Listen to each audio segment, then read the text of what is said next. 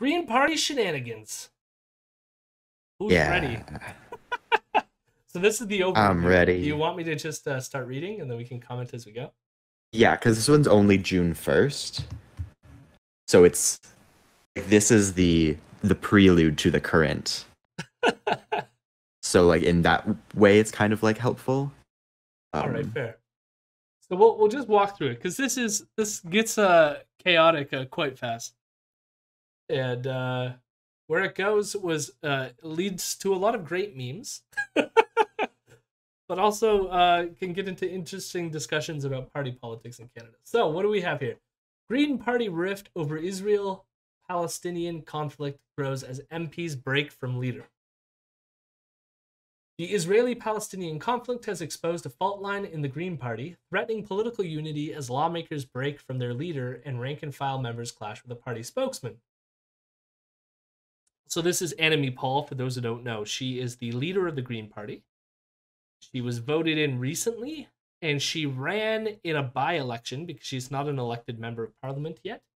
And she lost in that by election. So, she's the leader of one of our several Canadian political parties, but she doesn't actually hold a seat in parliament. Oh man, I can't wait to finally understand some of the memes I've seen. yes. And uh, another important thing about Enemy Paul is that she was like directly held up as the like successor of of Elizabeth May, the previous Green Party leader. yeah, we had a we had a local running for the leadership. Dimitri Lascaris. God, I wish Dimitri had won. Yeah. Dimitri is definitely, I would put him in the left wing camp. The, the one thing about Dimitri that I have issues with of, of everything is he, he tends to ascribe to a lot of the gray zone stuff. If those of you know know gray Mhm. zone, uh, and Aaron Mate and all that bullshit, can't stand that. But so like, there's some things where I have some slight disagreements, but when it comes to like leftism generally, like he he tends to be out there fighting the good fight. I think for the most part, and he seems pretty sincere. He came and gave a local talk about Venezuela back when uh, the news was pretty heightened about that conflict, uh, or at least the conflict was between America and Venezuela, and the whole Juan Guaido bullshit. And so Dimitri's uh, spent a lot of time in Venezuela, and so it was nice having him come locally give a, a talk about that. Dimitri is weak on theory. He's got the spirit. I think his judgment is pretty good. Everyone is weak on theory, so it's not. yeah, like my my only issue is like when I said the gray zone stuff. So gray zone, for those of you don't know, is like uh, they're basically anti-imperialist, which I agree with, but they take the stance of just like being anti-imperialist. This means that like every single thing that like the Americas do is automatically bad and everyone else by extension is automatically good. And that leads you into some weird conflicts like Gray Zone denies, for example, a lot of the things that Assad did to his own people. What's up, buddy? They also think that like Rojava is bad because they had help from America. Right. It's just like a very weird contrarianism that isn't based on reality or like any actual political stance. It's just It's I don't know, it's just very annoying bullshit. Um and so Dimitri, like that's that's my like he he tends to like uh have a similar vibe to him in some cases. I wouldn't say he's necessarily gone as far out as Gray Zone, but he definitely has worked with people like Aaron Mate, who works for Gray Zone, and so there's uh, connections there that lead me like eh. But like on the grand scheme of things, like his, uh, I've liked a bunch of shit that he said. So, and plus I know him, you know, that counts. I, Yeah. don't, I don't think that he's grifting. I feel like some of the Gray Zone people, it's clearly a grift, but I, I don't think I, I get the same vibe from Dimitri. And and I mean, Paul, I don't know if it's going to come up in this article. Does the uh, Bolivian stuff come up in the article? But uh, her, I don't think it does. her husband was supportive of the right wing coup in Bolivia. I think. I think that it was her husband, or it was someone associated. So either way, her, her politics no, it was her the exact husband. opposite of Dimitri in being problematic. I guess.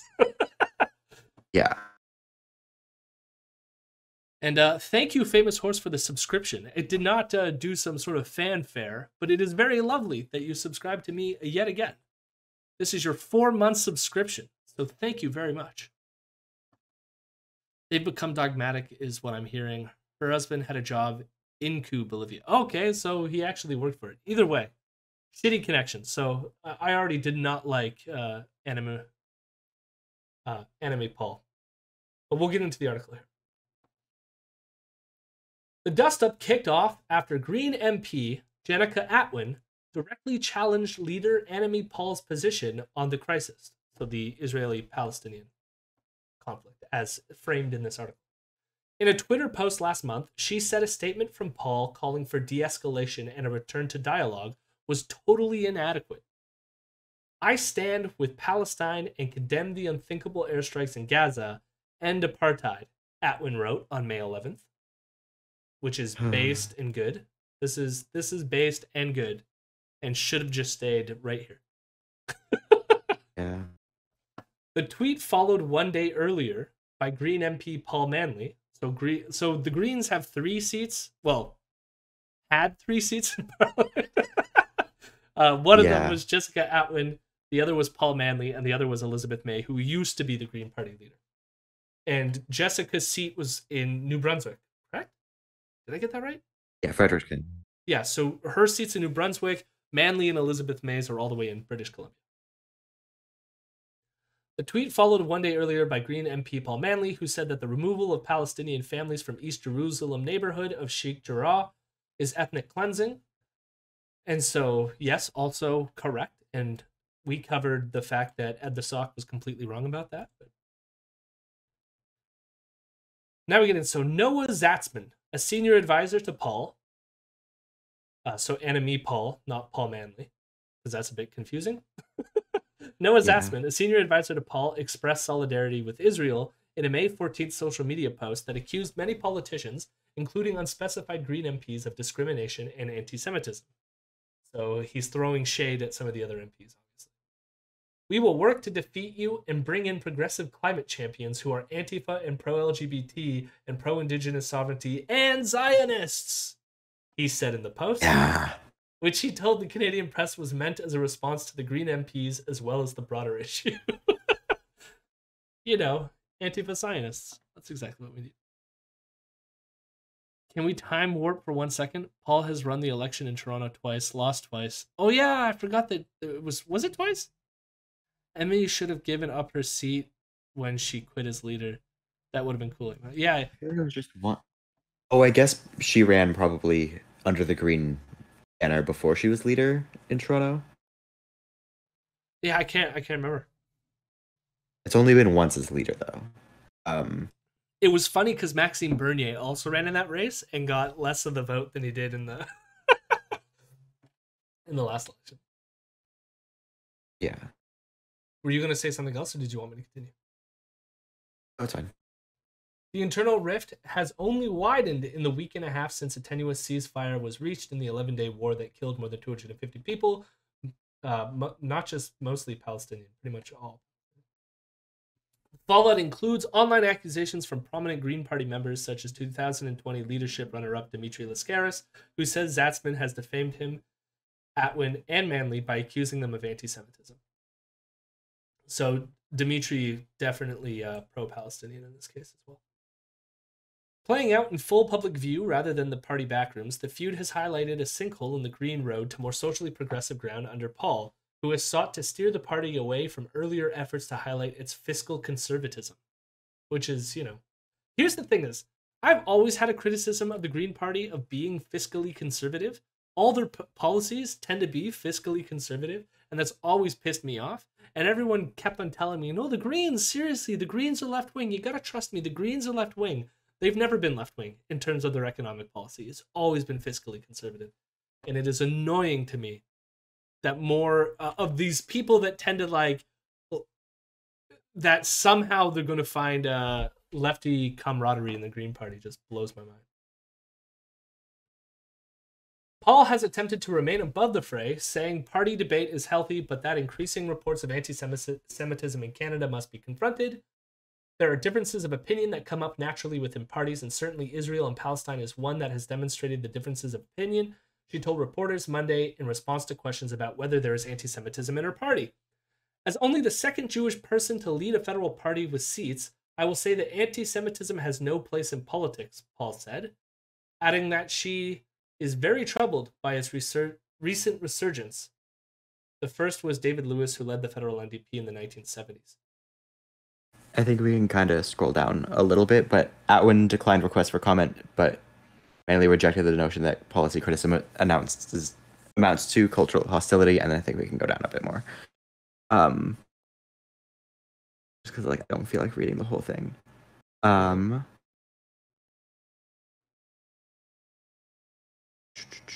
So Zatzman is like, oh, we'll smooth things over. Everything will be fine.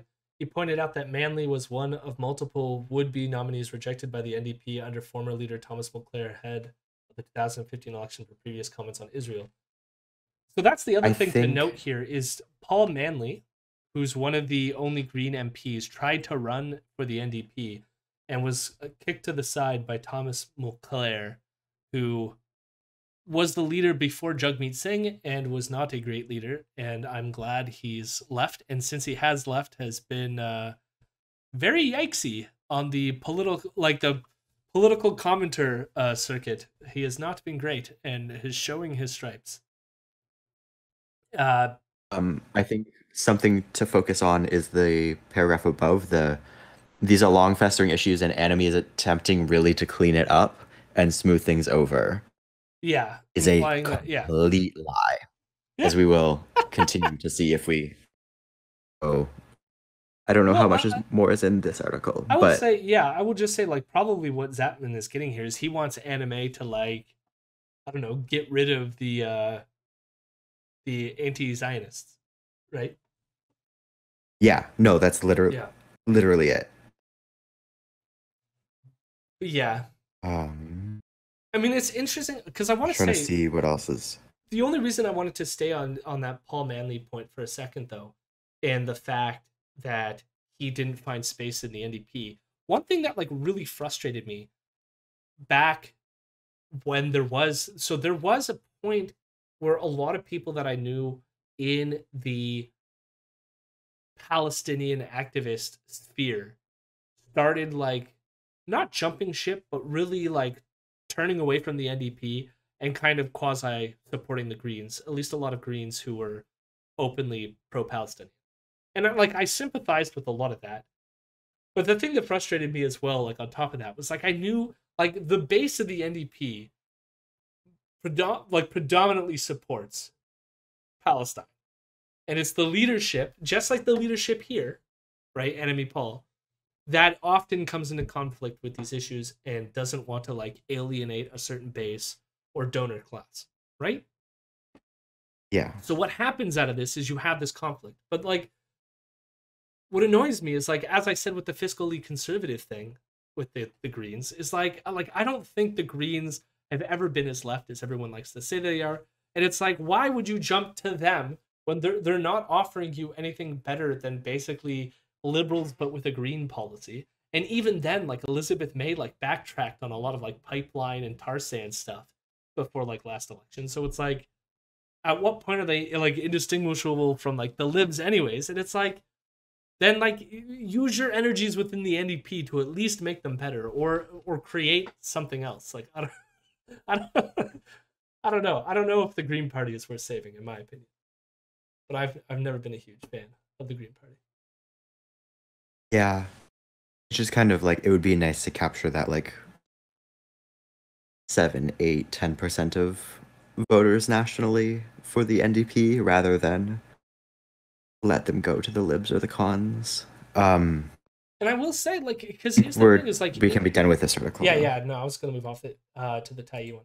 Uh, it- it is worth saying though that like with the internal pressure that we put on the NDP, we at least got Jagmeet Singh to to utter the right things in the recent conflict, right?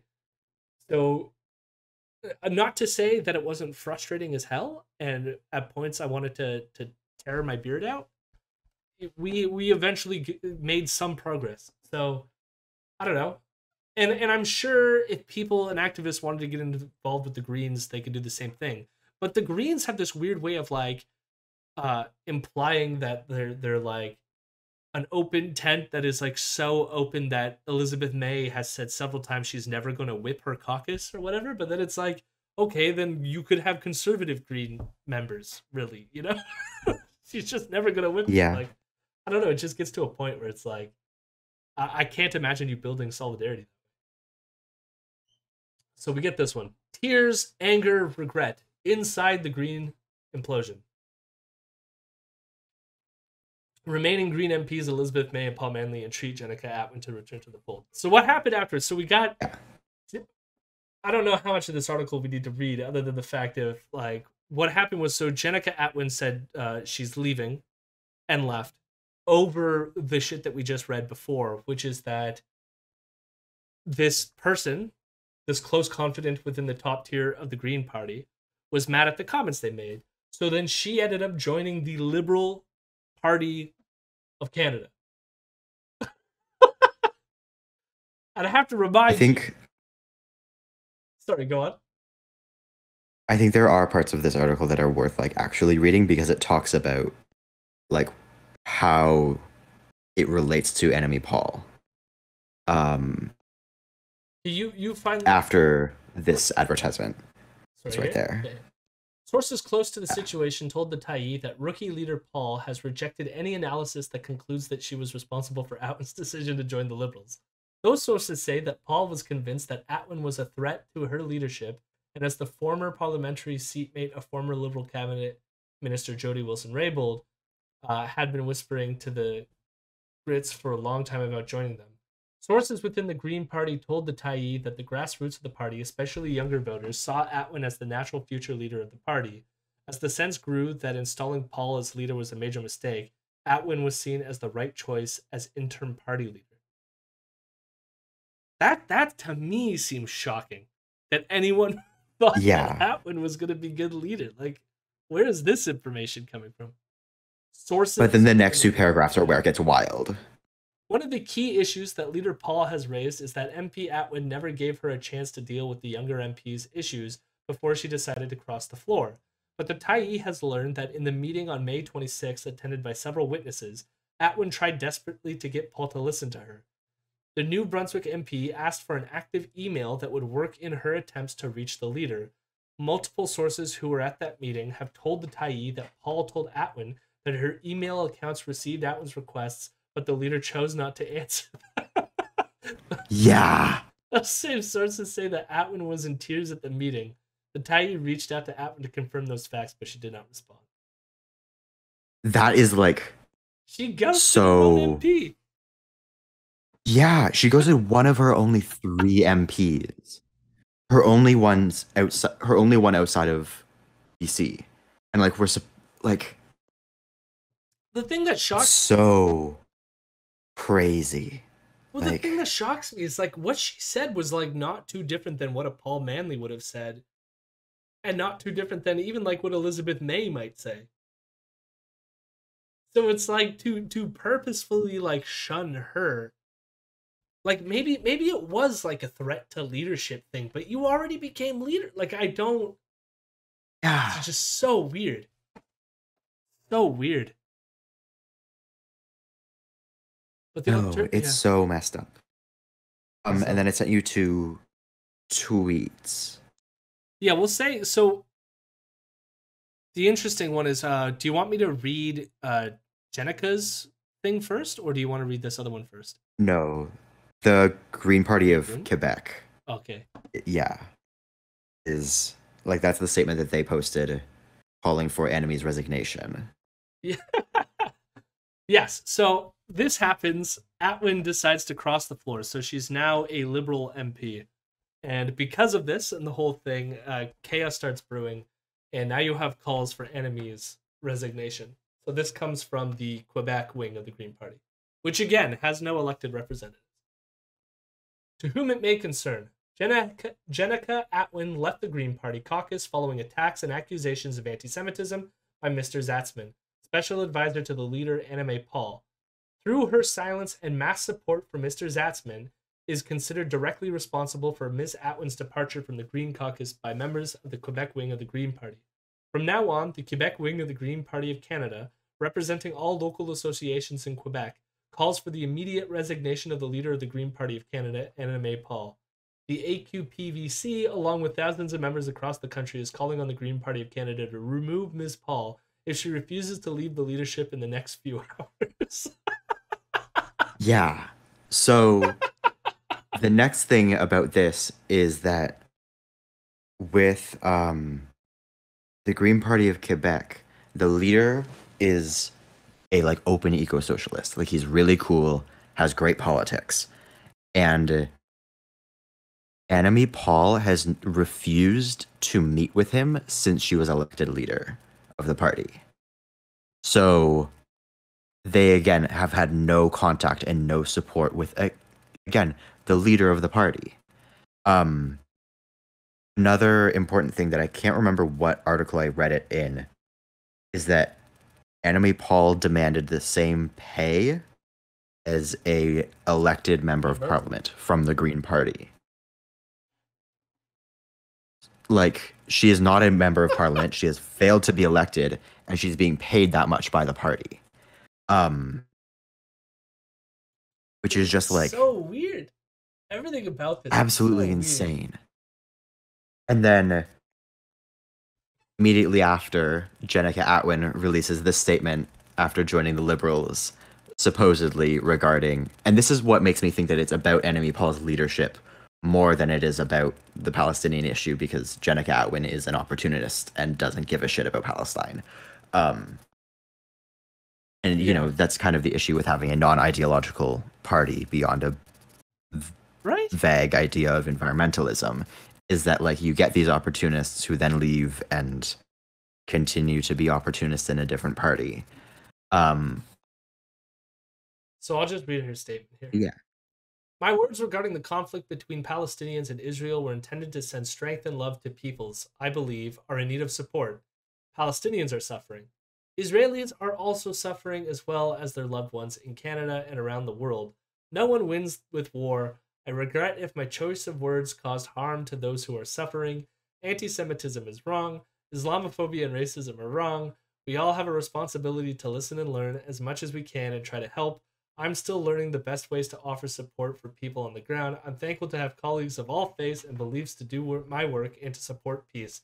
I'm looking forward to sitting down with my new colleagues and stakeholders to continue my learning on this matter and to continue to support a two state solution.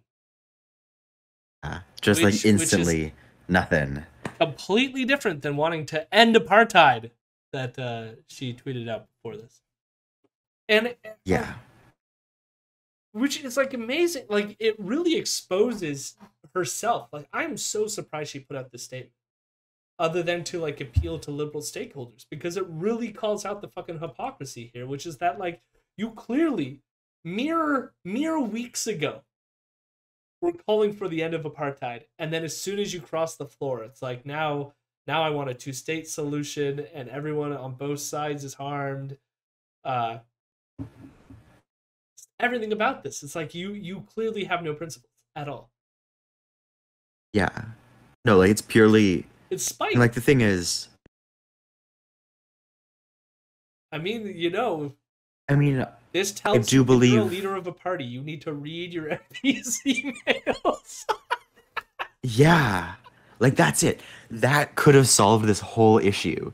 Is if Paul if enemy Paul responded to emails yeah. from her fucking elected members of parliament, none of this would have happened.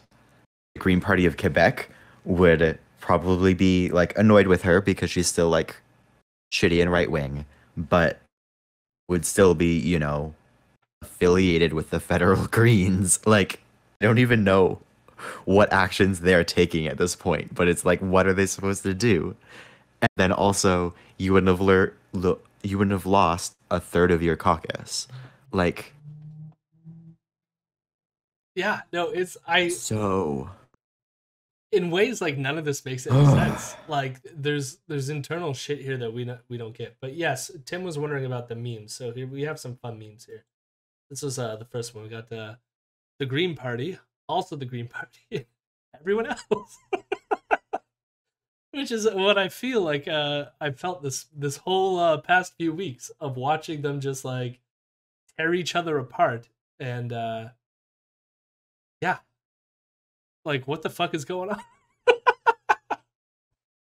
I will say too, uh, just on the topic of like, and like it was weird because it like Anna, eh, like she Anime like came to speak at the vigil on Tuesday, and I felt like it was the worst. Out of, out of all even even worse than some of the like conservative speeches because like everyone else felt like was at least cognizant of some sort of like tragedy that had had occurred. But the way that she was speaking was almost like she was doing a like out of all the people who spoke hers was the most that felt like a campaign speech to me. Like she was trying to say like as leader i would do blah blah blah and it's like and it was not substantive it was all like showboating. And it's someone who like has taken a stance against what a lot of the people who attended that uh, vigil on the tuesday supported the palestinians right uh, so it was just very awkward having her there uh, in her capacity as a leader of the Green Party. But just, uh, I mean, out of everything being weird already, her hers was very cringy. I came away feeling cringed. Yeah. Um. Yeah. So all of this happened, and then within the past couple of days as well. Last night there was a, um.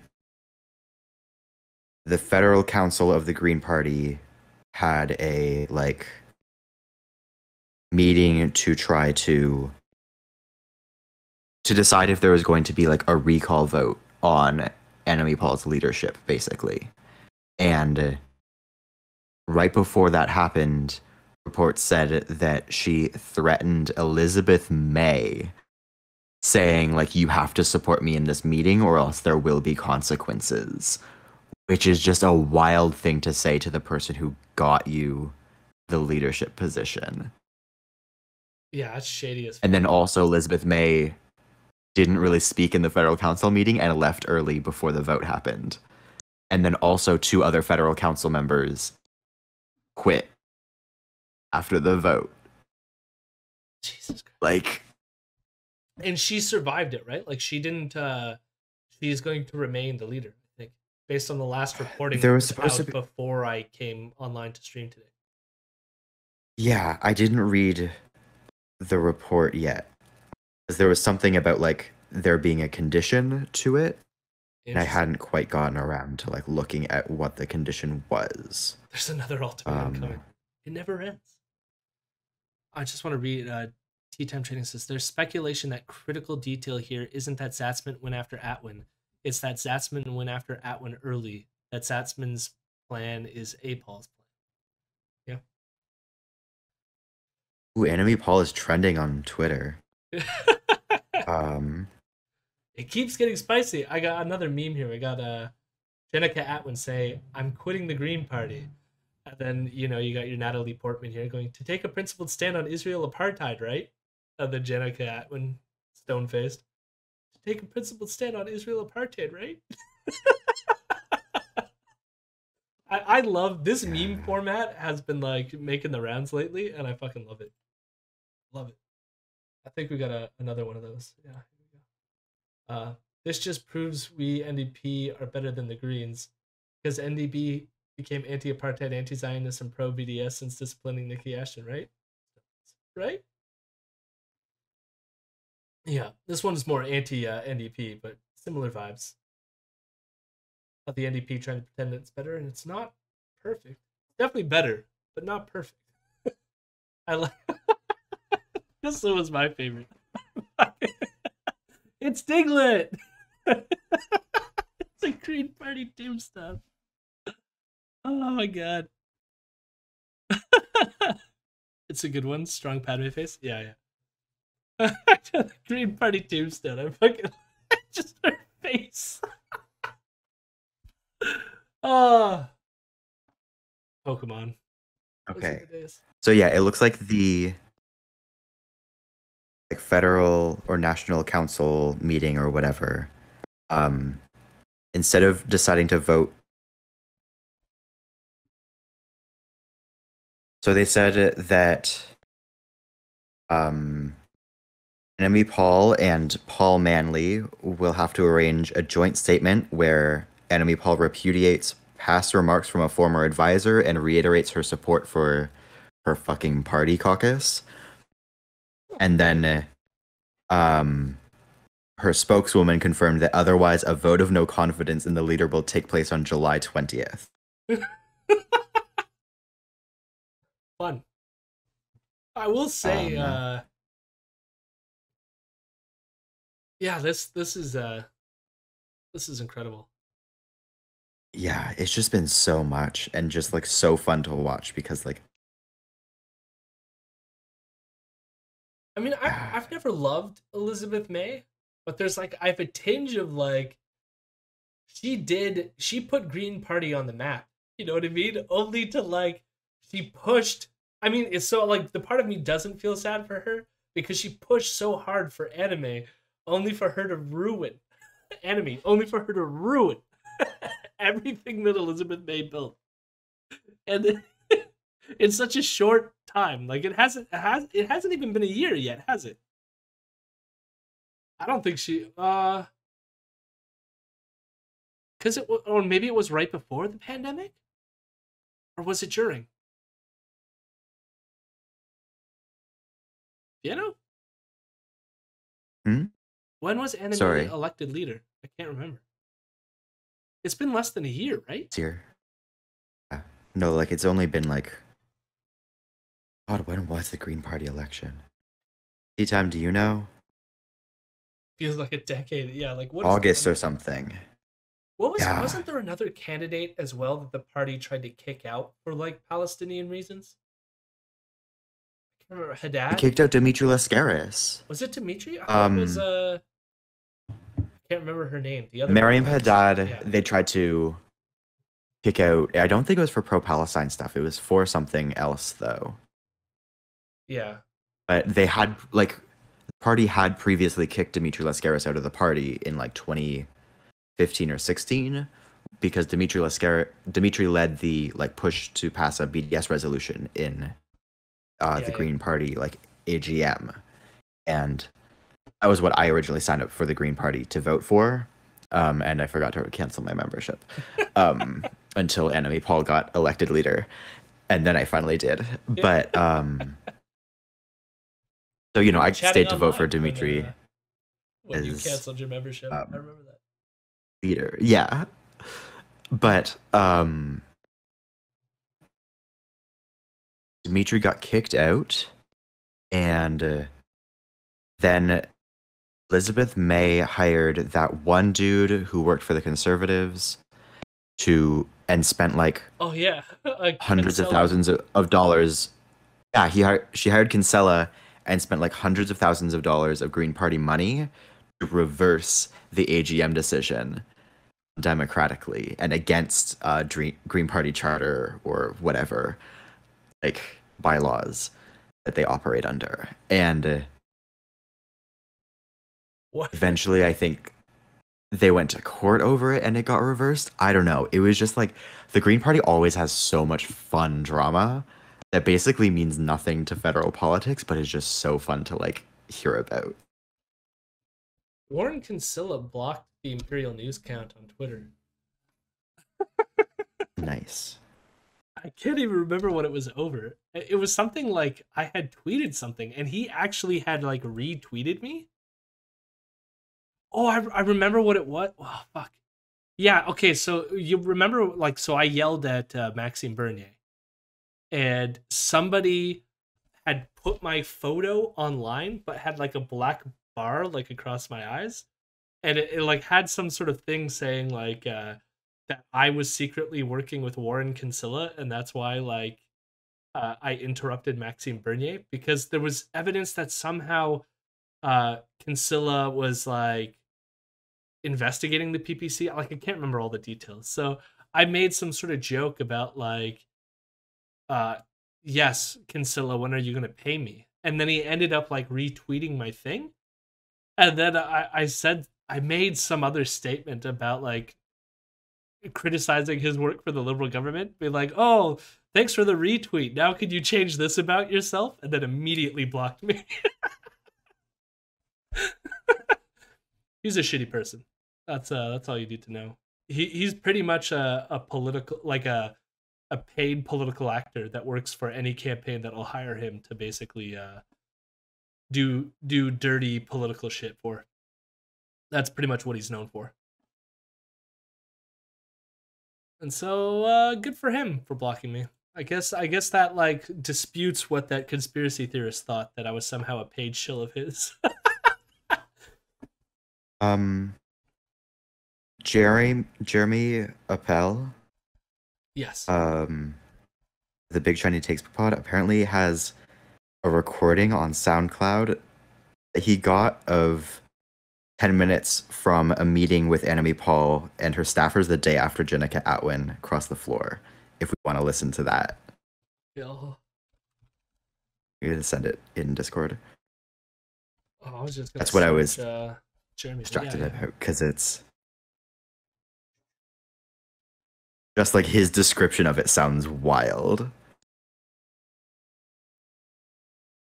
Uh, how long uh do we have just the description? Okay, I've obtained a 10 minute. Uh, everyone should follow uh, Jeremy Appel. I, I feel bad because right before, right before, or actually, it was like a month into the pandemic.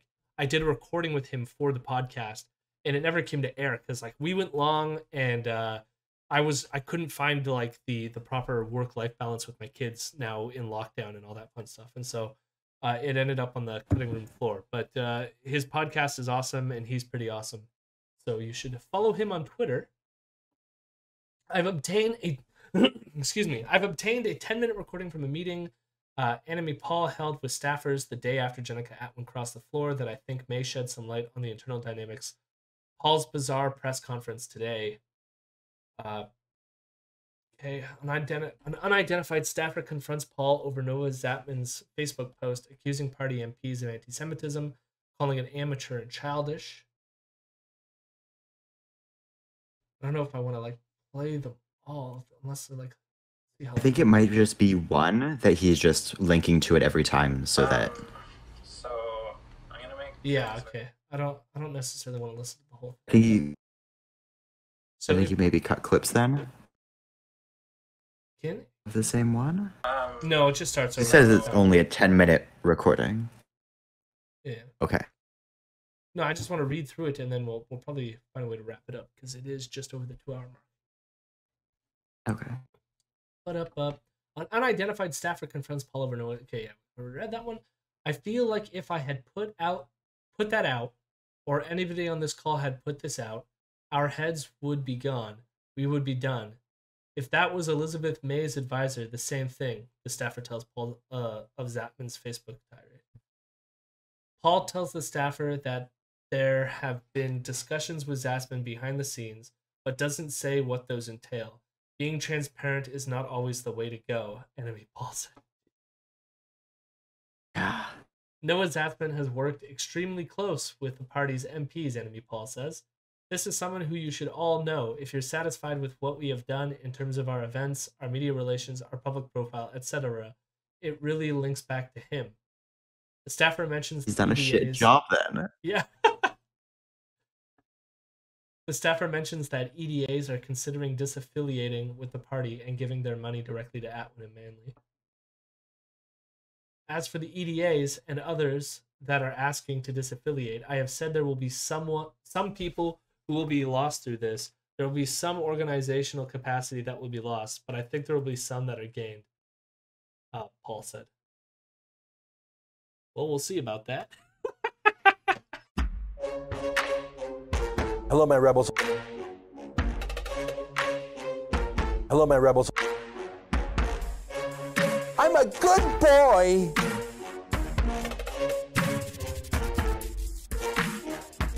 I'm a weirdo.